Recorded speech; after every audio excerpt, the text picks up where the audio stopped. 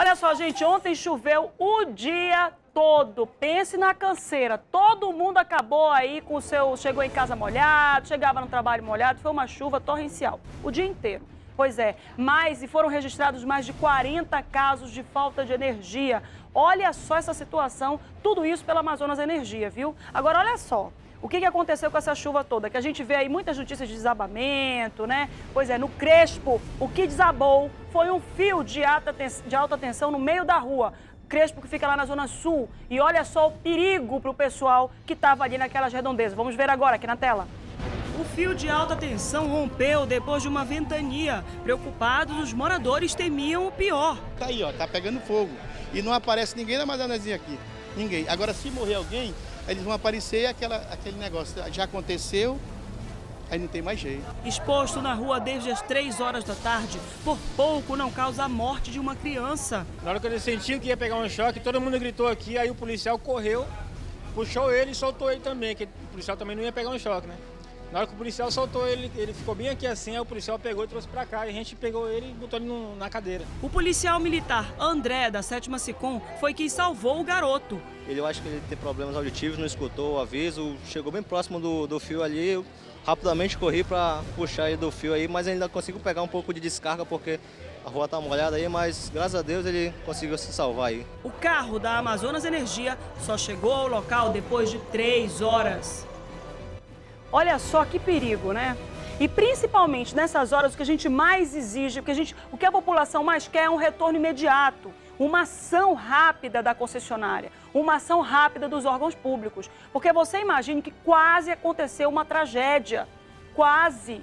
Ficou desde as três horas da tarde até o final do dia, já era noite, quando o carro da Amazonas Energia chegou para tentar tirar aquele fio ali que estava passando corrente elétrica, estava trazendo descarga elétrica o tempo todo ali.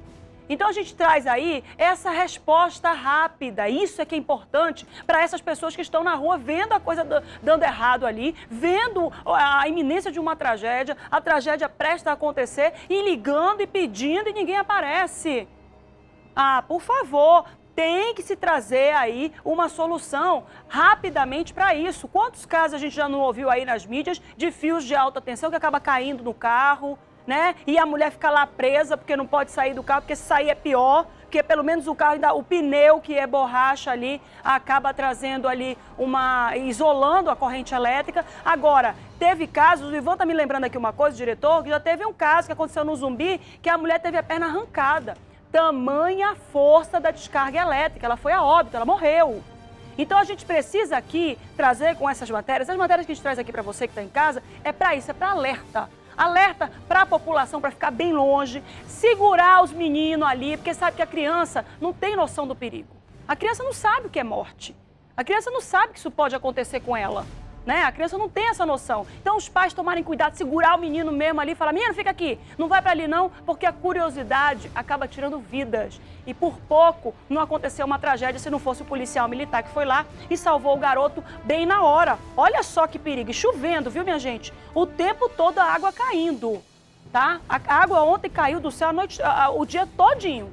Então a gente traz aí esse alerta, principalmente se está demorando a concessionária, afasta o pessoal, isola a área. Você vê aí que o policial militar teve que ficar fazendo a segurança do fio. Presta atenção. Né? Ficou lá, sigo, controlando ali a situação para que nenhum outro morador chegasse na proximidade ali e acabasse acontecendo uma tragédia. Ainda bem que a situação foi resolvida, a criança está bem, foi só um susto ali, chegou a ter ali um, uma, uma, uma, um assusto ali, acabou machucando um pouquinho ali o braço, estava meio dolorido pelo que a gente vê ali, mas ainda bem que deu tudo certo, tá? São 11 horas e 7 minutinhos, fico alerta. Deu esse problema aí, saiu da situação, o pessoal tá indo aí para poder trazer aí essa segurança, viu? Então fica ligado com isso aí. Olha só, gente, cedinho tava vindo aqui pra, pra TV, passei ali no Aleixo, pense na fila. Eu falei assim, gente, será que estão distribuindo rancho aqui? Ali nas proximidades ali do, do, do Tribunal Eleitoral, ali da Justiça Eleitoral, uma fila de virar o quarteirão. Uma fila de virar o quarteirão. Pois é, Descobri quando cheguei aqui na redação o motivo da fila. Está começando aí os serviços de emissão de títulos e cadastro biométrico, porque nas, nas eleições de 2016 a gente vai ter que fazer a, a votação com biometria. E a repórter Roberta Cunha foi cedinho lá para saber como é que estava essa movimentação e por que essas filas todas. A fila enorme, virando o quarteirão. A gente vai saber agora. Olá, Roberta. Márcia. Olha, hoje muita gente aqui na frente da sede do TRE no Aleixo, todas em busca de serviços como a emissão da primeira via do título de eleitor, transferência e a revisão, né? Todas já saem daqui com o cadastro biométrico. A gente vai conversar aqui com algumas dessas pessoas que chegaram bem cedo aqui. Olá, bom dia. Qual o nome da senhora? Bom dia, Valdenise. A senhora chegou aqui que horas? Nós chegamos 6 horas da manhã. Conseguiu ficha? Consegui.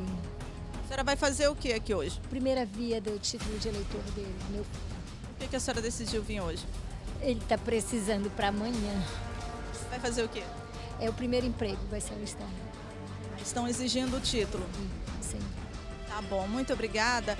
E olha, Márcia, por dia são dadas pelo menos 300 fichas, podendo se estender aí, dependendo do volume de pessoas, até 450 atendimentos. Mas a dica é que quem precisa tirar título de eleitor chegue bem cedo para garantir uma ficha e sair daqui com o documento. Eu volto com você no estúdio, Márcia. Obrigada, Roberta Cunha. Seis horas, minha gente. Era seis, seis horas, seis e vinte, quando a gente estava passando ali pelo, pela Justiça Eleitoral e acabou vendo aí uma fila de dar a volta no quarteirão. Agora, olha só.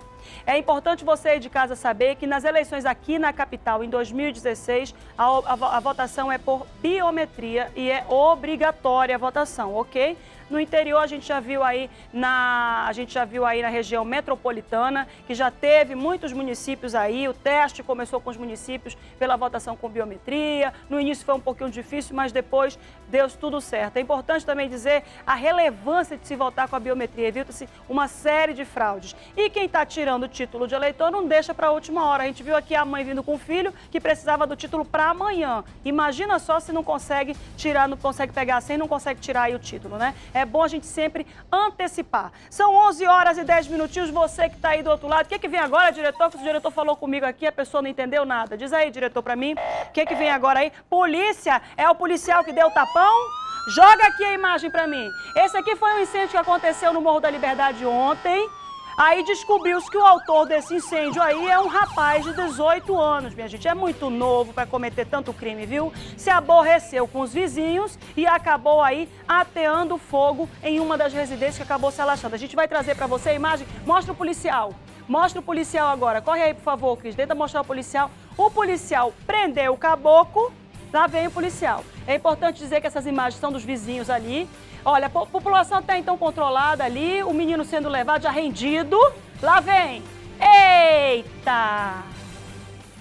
Deu-lhe um tapão, a população pegou, pegou o exemplo, queria bater também. Fazer justiça com as próprias mãos, perder a medida. Daqui a pouco tem pena de morte aqui extraoficial na cidade, né? Daqui a pouco tem pena de morte extraoficial na cidade. São 11 horas e 11 minutinhos. Você que está aí do outro lado, presta atenção. Tem que se deixar a justiça para a justiça trabalhar. A gente não está aqui para dar justiça, aqui ninguém é juiz, não. 11 horas e 11 minutos, você que está aí do outro lado acompanhando a gente, obrigada pela audiência. Liga para a gente, 3307-3951, 3307-3952. 20 de janeiro, tá quase acabando o primeiro mês do ano, hein? E você já fez o que da sua vida? Hein? O que, que você planejou aí? Vai fazer o quê? Vai resolver fazer a faculdade agora em 2015? Resolveu ou não resolveu? Então, anota aí essa dica que eu vou te dar. É uma dica excelente para você que quer mudar de vida, quer ter o um emprego que sempre sonhou e ganhar mais dinheiro.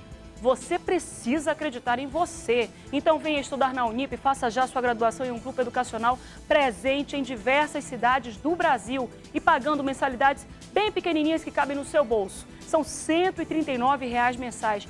Ah, não ouviu não? Vou repetir, hein? 139 reais mensais. Essa é a sua chance de escrever a sua história. Aqui você pode. Não perca mais tempo, inscreva-se já no vestibular, olha, da Unip. Inscreva-se pelo site www.aquivocepode.com.br.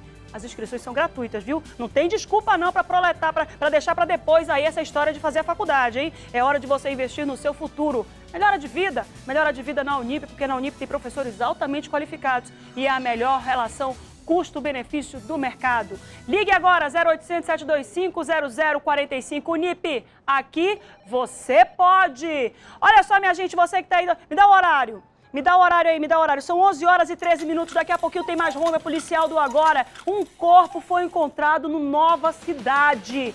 Presta atenção nisso.